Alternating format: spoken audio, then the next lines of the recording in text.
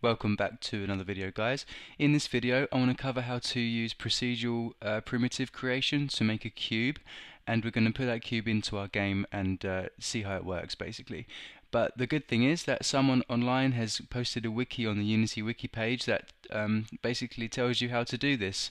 So he's created a plane and this plane is different from the previous video. He uses a different uh, method to do this but either way it works pretty well the box. Now this is what we're interested in. He tells us how to make the box and it's very similar to that we did in the previous video of the plane but there's a few things we need to talk about uh, before we continue.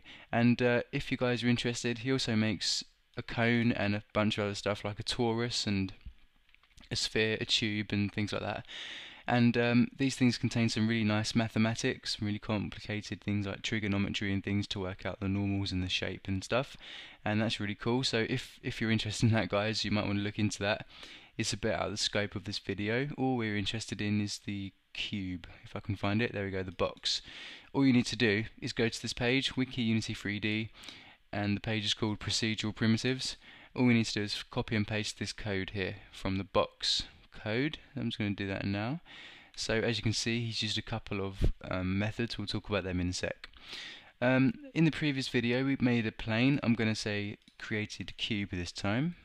Created cube.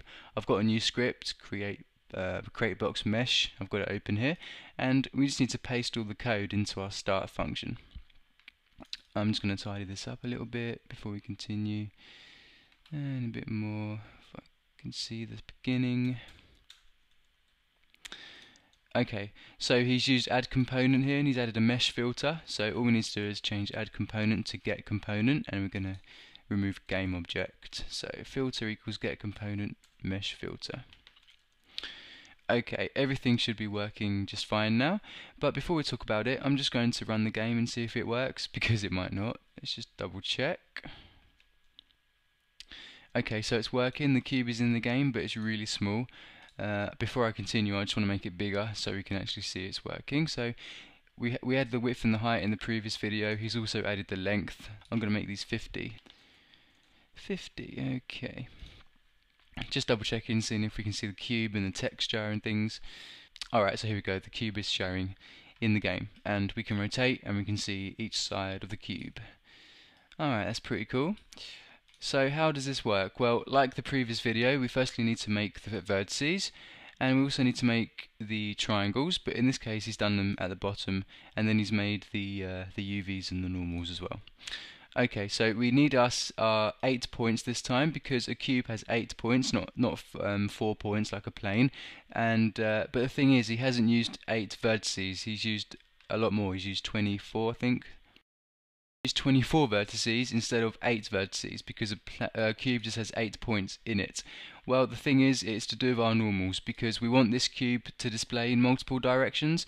And the thing is, if we do it this way, we we can only display, uh, we can only assign one direction to one vertex in this in this case. So what he's done is he's made multiple vertices with the same point to make uh, each side of the cube I'm going to explain how he's done this here. So, um, so this is our cube. I'm just going to make a simple, uh, a simple cube shape. Okay, so in the previous video, this was our plane. To make a 3D object, we then need to add depth to it. So we add depth to our cube. Okay, so that'll do.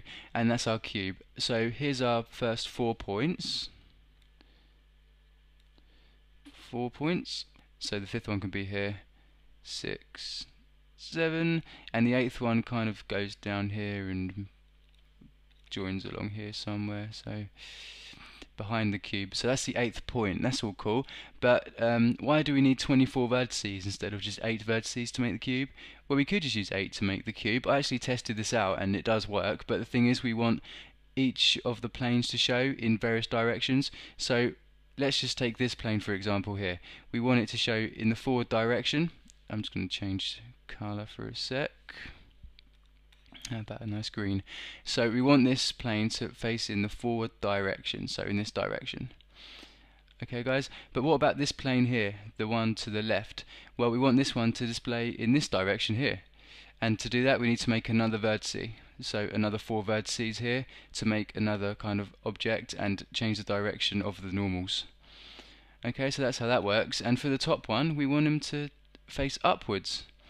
So if we do this to every single side, we end up making 24 vertices. That's what he's done here. He's made four vertices for each side of the box. So the bottom left, front, back, right and top. And then he's simply assigned the normal direction to each of the vertices.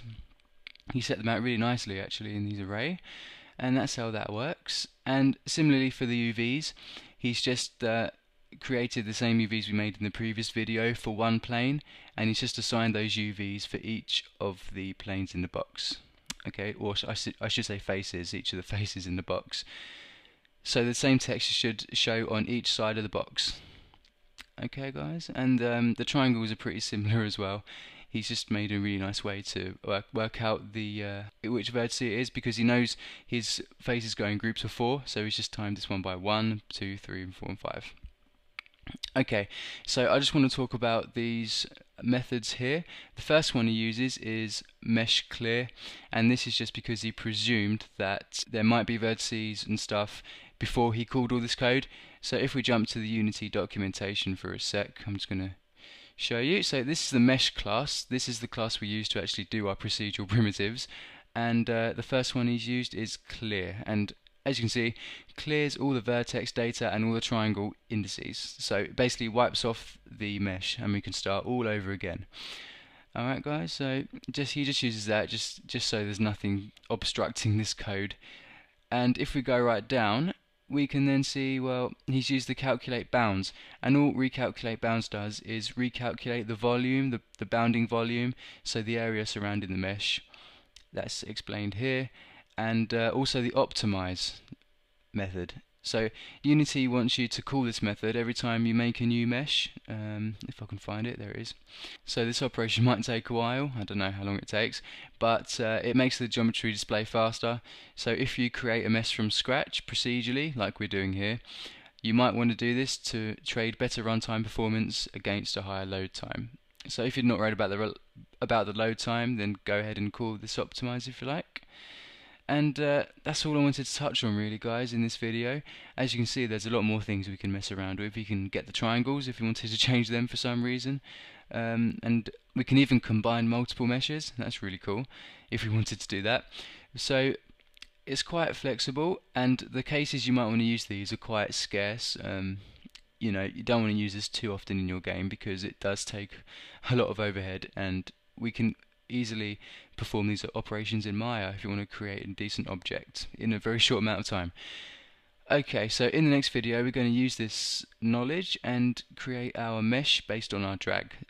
Alright guys, so thanks for watching guys, see you in the next video.